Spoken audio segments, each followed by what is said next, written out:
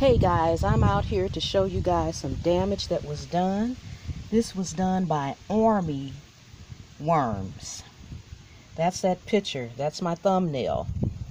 All this damage was done by army nails. If you see over here, look at this right here, guys. See this? This was actually as big as this. These were peppers. These were uh, bell peppers. Same thing over here. Okay, right there, right there. You see that right there? See this right there? That was in full bloom, just like these over here. Now, this is basil. This over here was hot peppers. This right down here was bell peppers. All of these were eaten up by army worms.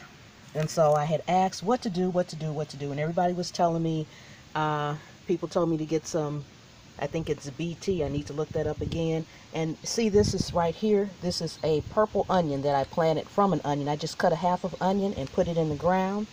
It tried to get this too. Yesterday, I came out and I physically, by hand, removed about 20 of them.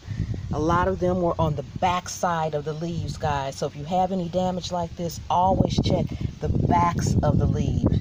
Turn them over and check the back of the leaves a couple of people told me to use some dish detergent and water until I could get to the store uh, to get the other product the I think it's BT I'm going to look that up in just a second. I will have that in my description. And so this is what I did guys. This is what I did yesterday morning. I came out. Let's sit this right here because I don't have anything growing there this is a glass cleaner. Ignore this. Ignore this. Ignore this. Let me just turn it over here. This was a Windex bottle size. I'm, I'm showing you this to show you the size. I actually filled it all the way up to here with water, regular tap water, and I put two squirts of dish detergent in it. I did not have Dawn. I had Palmolive. It is the blue Palmolive um, that has the Oxy in it. I just put two squirts, one, two squirts in there, and I shook it up, and I came out here, and I said, okay, what the hey? If I destroy it, it's destroyed anyway. So I saturated everything. I saturated this entire uh, container with the soap. Maybe I was supposed to do that, maybe not. I turned the leaves over, I saturated them. And this morning, I see none. I mean, I've been through this bed with a fine tooth comb. I am so thankful that I am gardening in containers, guys. This is a container. So they were contained. They did not get to anything else. As you can see, my tomatoes, my strawberries, my cucumbers, they didn't get to anything else because they were only in this container.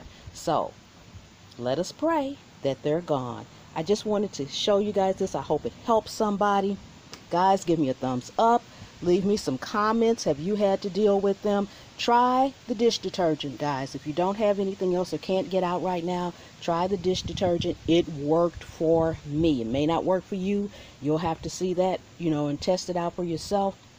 But it worked for me. They were also, I did have one in this uh, particular container. And this is actually kale, and I see the kale is coming back now. So I did have one in this container. So there you have it, guys. Give me some comments. Leave me a thumbs up. Subscribe to the channel, guys. And I'll see you next time. Thanks so much for watching.